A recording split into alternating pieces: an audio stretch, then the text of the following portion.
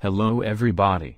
Welcome to number 1 doctor channel. Today video is about urinary tract infection, which is part of our playlist called short medical notes, in which we will have short videos about important topic in medicine but please do not forget to like and share our videos and subscribe to our YouTube channel number 1 doctor, and join our social media accounts in the links below each video.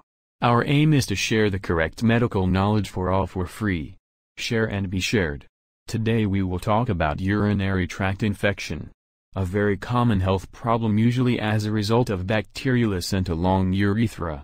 More common in women, due to shorter urethra, moist environment and proximity to anus.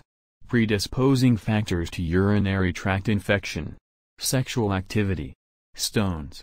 Foreign bodies for example catheters.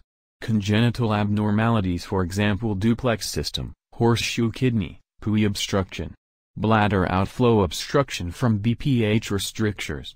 Other diseases including TCC or fistulae from adjacent organs. Common organisms include E. coli, Proteus spp, Pseudomonas spp, Klebsiella and Enterococcus. Symptoms can be asymptomatic cystitis, frequency, urgency, dysuria and suprapubic pain. Fever is unusual, pyelonephritis, loin pain, nausea, fever temp 38 degree, rigors and leukocytosis. Investigate all men, recurrent infections, children and infections in pregnancy urinalysis, leukocytes and nitrites indicate infection midstream culture. Microscopy and culture should be used to confirm infection prior to starting antibiotics. 103 colony-forming units CFUs in uncomplicated and 105 CFUs in complicated urinary tract infectionist diagnostic. Imaging. KUB X-ray to rule out stone disease. Renal ultrasound to identify reflux and renal scarring.